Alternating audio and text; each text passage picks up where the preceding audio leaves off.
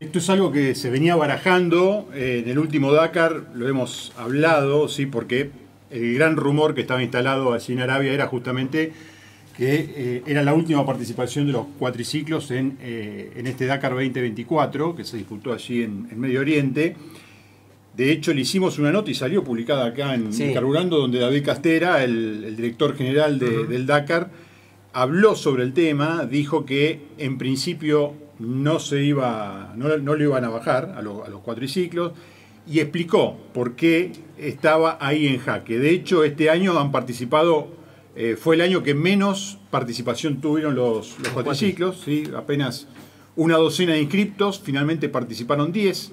Eh, y acá se mezclan varios temas que tiene que ver, primero, y esto sí lo explicó Castera cuando habló, habló con nosotros. Primero, no hay una marca que participe de manera oficial dentro de la categoría y esto, por supuesto, debilita a esa disciplina. Entonces Castera dice, no vale la pena seguir insistiendo con una categoría donde no hay ningún interés por parte de las empresas que en su momento tuvieron, ¿no? como Yamaha en su momento, los Patronelli cuando corrían, corrían con Yamaha, Canam también y demás. Bueno, ninguna de esas marcas participa en, el Dakar en los últimos años. Después también tiene que ver, y esto eh, ya es hilando un poquito más fino con la organización, eh, el Dakar firmó un contrato por cinco años. Y de hecho este año se cumplió el quinto año y ahora va por una extensión por cinco años más. O sea que hasta el 2030 el Dakar va a estar en Arabia Saudita. Ahora bien, ¿cuál es la diferencia que hay entre este momento y el principio del vínculo entre el Dakar y Arabia Saudita? Es que cuando en el momento Arabia Saudita decía, nosotros vamos a poner 15 millones de dólares por Dakar, Arabia Saudita ponía los 15 millones de dólares y después decían, bueno, ¿qué más hace falta? Entonces los franceses decían, y a mí me hace falta esto, el podio y demás, que yo, y los, árabes iban ponían. Ahora es al revés. Ahora dicen los árabes, bueno, nosotros tenemos 15 millones de dólares, todo lo que ustedes pidan lo vamos descontando de, los 15. de estos 15. Entonces la ecuación cambió. ¿Por qué hablo de este tema? Porque dentro de la embarcación, que va desde Europa, desde Francia, Arabia Saudita, que es lo más costoso, el embarque justamente del viejo continente a Medio Oriente, bueno, eh, los cuatriciclos ocupaban un, ocupan lugar. un lugar que las motos este, podrían entrar más lugares, teniendo en cuenta todo esto que venimos hablando. Claro, que la moto hay marca oficial en el. Exactamente. O sea que no es que es porque es peligroso. No, no, no, si fuese peligroso, a ver, no hay nada más peligroso que las motos, eso está claro. claro. Este, pero los cuatriciclos también. Es una decisión que sorprende igual, ¿o no, Robert? Teniendo en cuenta esto que vos mencionabas, porque yo me acuerdo que a principios de año habías hablado en exclusiva con Castera y te había dicho que la idea era disminuir progresivamente la cantidad de inscriptos en cuatriciclos para aumentarlos en motos. Es que con Castera hablamos de este tema porque ya el rumor estaba instalado y justamente fuimos a la fuente para que nos diga realmente qué iba a pasar. Él nos dijo en ese momento, como salió publicado acá en Carburando, que en principio no se iba a bajar eh, a los quads del Dakar, que se iba a estudiar, de qué manera iban a seguir participando, que se acotaba la cantidad de inscriptos como pasó este año. Y bueno, finalmente ahora en la conferencia de prensa que dio ayer, en, la, en la previa justamente de la tercera fecha del Campeonato Mundial, que se disputa a partir de hoy en Portugal, bueno, David Castera finalmente oficializó un, un secreto a voces. Tenemos un protagonista. Y tenemos un este protagonista, exactamente, sí, que ya fue víctima de este tema, así que, y ahora por supuesto, este, vamos a escuchar eh, qué es lo que opina sobre esta situación donde ya él había esbozado justamente que, bueno, en estos días se iba a dar a conocer esta situación. Estamos hablando de Pablo Copetti, que nos está escuchando y nos está viendo allá de Estados Unidos. Pablo, ¿cómo te va? Muy buenos días, ¿cómo estás? Buen día, Roberto, buen día, equipo, ¿cómo andan? Eh, todo bien, triste, pero me parece que que los pilotos de quad, por lo menos de mi punto de vista, ya sabíamos que esto iba a pasar. Eh, por ahí me parece que la comunicación de ASO no fue buena, porque en junio del año pasado, a mí en una reunión en, Europa con un equipo, con el Pedregatin, que es el equipo que me llevó la logística a todos los Dakar, ya nos habían confirmado que a ellos me habían dicho que los cuatro no iban a estar en 2025. Por ahí Castera me parece que no fue muy claro con los sudamericanos, esa es la realidad. Bien, vos decís que hubo un doble mensaje, si se quiere, ¿no? En lo que se escuchaba este secreto a voces que estábamos eh, recién marcando y la falta de comunicación con los protagonistas, que en definitiva, a ver, quienes alimentaban o alimentan este, esta disciplina son los pilotos sudamericanos, ¿no? Sí, tal cual. Pero yo creo que, el que no vino, el que no vio venir esto fue muy iluso, o sea, porque la realidad es que a la categoría la mataron en el último Dakar. O sea, si quieren hacemos memoria, Dakar 2018 60 pilotos, Dakar 2019 23 pilotos, Dakar 2020 20 pilotos y a partir de ahí menos. Pero armar una categoría con 8 pilotos o 9 no es una categoría, creo que queda claro. Lo que pasa es que por ahí los pilotos no lo quisimos ver, me parece también. Me parece que fueron plantando la semillita para, avisando, para avisarnos de que esto se terminaba. O sea, más allá de que después la organización eh, les guste, no les guste, al directivo no le guste, o, más allá de cualquier cosa, creo que nos fueron, fueron plantando. Ya en el, en el último Dakar que corrí yo, que fue en el 2023, eh, aceptaron 19 pilotos nada más, pero inscritos había arriba de 30. Dejaron muchos pilotos con Dakar corridos, como los bolivianos Martínez, eh, como Inocente, los dejaron afuera y, podrían haber hecho una categoría fuerte. Eh, ahí te das cuenta ya que no había que había un fin para la categoría cuatriciclos. Y este año que vos estuviste ausente, ¿cómo viste esa previa de este año que va, bueno, va a ser histórico, porque fue el último año que participaron los, los cuatriciclos en el Dakar? Mira, yo cuando se lanzaron las inscripciones pregunté cómo iba a ser la categoría, porque ya me habían llegado el rumor de que la querían disminuir y cuando me dijeron que había más de no había más de 10 cuatriciclos, yo decidí bajarme y no no correrla, o sea, porque me parece que no es ni atractivo para los sponsors, o sea, para nadie es atractivo. Eh, se la vio realmente muy triste desde afuera. Si bien tuvo el condimento de Giroud y Andújar, pero estamos hablando de Giroud y Andújar, dos pilotos en una clase que deberíamos estar hablando de al menos 6, 7 personas compitiendo. Eh, y no, no pasó eso. Entonces se ve que se pierde protagonismo, obviamente, independientemente que en las imágenes de la tele aparezcan los famosos 5 o 10 segundos de los cuatriciclos, pero se nota que hay una o había una pérdida de protagonismo y que no y que, y que esto ya era un crónica un final anunciado, ¿no? O sea, ya más hay que hacerle entender a la gente que no es lo mismo el Dakar en Sudamérica que el Dakar en Arabia. En el Dakar en Sudamérica podíamos largar 60 cuatriciclos, que el cuatriciclo más lento podía llegar cuatro horas, cinco horas después del líder, que por las horas de luces no iba a haber ningún problema. En Arabia Saudita esto es impensado y es lo que terminó matando la categoría. Para mí lo que termina matando la categoría es la falta de pilotos competitivos. En Argentina o en Sudamérica teníamos 15 pilotos que podían ganar una etapa o 15 pilotos que iban a competir, 20 pilotos que iban a competir y después el resto a vivir la experiencia. Esa experiencia que muchos querían vivir en el Dakar, me parece que en Arabia Saudita es imposible. Pablo, un gusto, un gusto saludarte. Este, la pregunta que se me ocurre hacerte es decir, bueno, no hay cuatriciclo y sabemos que los que corrieron alguna vez el Dakar sienten pasión por este tipo de, carrera porque es un desafío. ¿Le apuntás para otro lado? ¿Te pasás las motos? ¿Podés hacer otra cosa? Eh, no, no, o directamente lo descartás. No, no, yo voy a correr en UTV. Yo tenía el año pasado avanzadas las negociaciones eh, tengo cerrado, voy a participar con, con el equipo TH Trax con un Polaris, pero independientemente de eso yo seguía peleando por la categoría cuatriciclo, es más, fui uno de los que hasta los últimos días se, fue quejando personalmente a la organización por esto, porque yo a la categoría la amo, o sea, yo sé que, que no la parte comercial, la, la parte de una carrera deportiva no está más ahí, pero la categoría la quiero y y me da mucha mucha pena, tristeza y bronca que, esto suceda. Pero bueno, no es, lo mismo, ¿no? No es lo mismo manejar un Quatri que un UTV. La sensación debe ser diferente. A mí me gusta, a, mí me gusta más el Quatri. O sea, por más que el UTV eh, es más seguro, hoy en día es, eh, o bueno, desde hace un tiempo ya es un boom, viene matando los cuatriciclos acá en Estados Unidos, en todos lados. Pero a mí me gusta el, el Quatri como, como, como vehículo. Es, lo, que, lo que yo manejé toda mi vida y es lo que me gusta. Pero bueno, o sea, hay que, si uno quiere competir y quiere seguir, hay que adaptarse. Esa es la, esa es la realidad. Pero no deja de dar bronca. O sea, ojalá que algún día, recién escuchaba algo que explicaba Roberto que me parece muy interesante, que Arabia cuando empezó le daba todo a la organización. Como Sudamérica cuando empezó le daba todo a la organización. Y después ese interés fue perdiéndose de, parte más de los gobiernos, vamos a llamarlos, y se tuvo que mudar. Ojalá que en cinco años haya que mudarse de vuelta y, la mudanza sea Sudamérica y esa mudanza permita que vuelvan los cuatris, ¿no? Porque la verdad que no veo que en Arabia, estando en Arabia, los cuatris vuelvan a correr, esa realidad.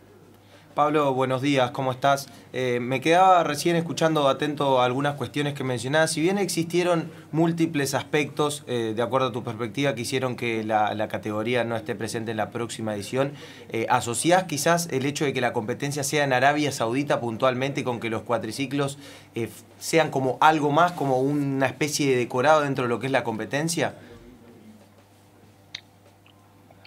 A ver, esto hay que tomarlo con muchas pinzas, porque te nombré 2018, Perú, 23 cuatriciclos, nada más.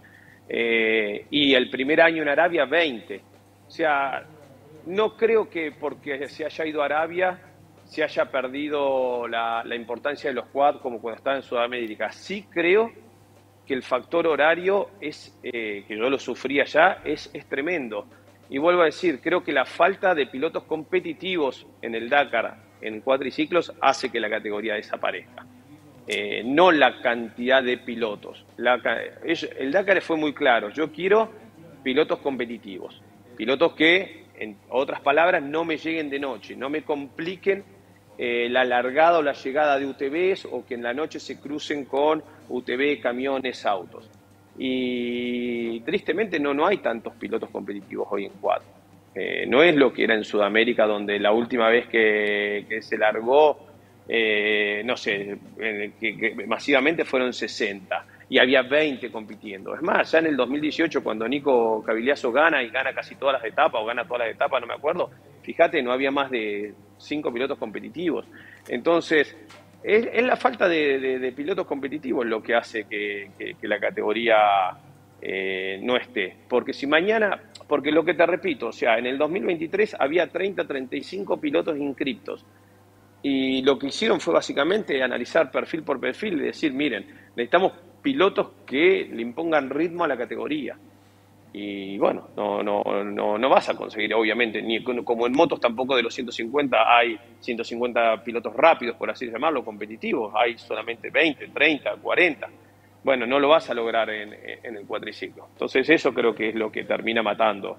O sea, el tema del horario en Arabia del día y que y, la falta de, pilotos competitivos. O sea, no, hoy no hay día, no hay más de 10 pilotos que vayan a competir. Cuando llame ser competir hablo de, eh, y no se malentienda, de pilotos que quieren ir ganar el Dakar o que quieren estar en la punta. A mí lo que me, me llama la atención, Pablo, si bien decíamos que era un secreto a voces, que esto se iba a anunciar tarde o temprano, eh, me llama la atención que los cuatriciclos sigan participando en el campeonato mundial, eh, teniendo en cuenta que es una locura. Si, se baja del Dakar es como que genera un efecto cascada y a partir de ahí pierde todo el interés en cualquiera de las otras eh, de los otros certámenes que por supuesto tienen menor relevancia que, el Dakar mismo, ¿no? Y me termina matando. Preguntale a Fran Moreno o a alguno si va a querer correr ahora la ruta 40. Nadie la va a querer correr. ¿Con qué objetivo? ¿Para qué? Si no puedes ir al Dakar. Eh, termina matando carreras, las carreras más importantes, ni hablar de las carreras regionales o, zonales. O sea, es como que, quieras o no, nos acostumbramos desde hace muchos años a que todos los que querían correr rally cross country, el objetivo era correr el Dakar, eh, la carrera más importante del mundo. Pero bueno, ahora no la tenés a eso. Entonces hay mucha gente que dice, yo ya no quiero correr. De hecho, yo el año pasado cuando me enteré que había 10 cuatriciclos o que iban a aceptar 10 cuatriciclos máximo, creo que fue la última vez que me subí a un cuatriciclo a entrenar. O sea, no, no, no volví porque no tenés un objetivo, no tenés alguna algo, algo grande para, para, competir. Y creo que la mayoría, el amateur, el que compite, el que quiere ganarlo, todos apuntan al Dakar. Entonces sí, es verdad, va matando. Y, lamento sinceramente que la comunicación haya sido tan mala, porque hoy tenés a Gita en Portugal, tenés a Suani, tenés varios pilotos eh, que fueron a, Portugal y, invirtieron plata para poder estar en el Dakar. Entonces tendría que haber sido por ahí a principios de año, ¿no? Cuando todo el mundo le preguntaba. Capaz que, no sé si no, qué pasó ahí, la verdad, no sé. Y la última de mi parte, y voy a inventar una palabra para graficar un poco, a ver si estás de acuerdo o no.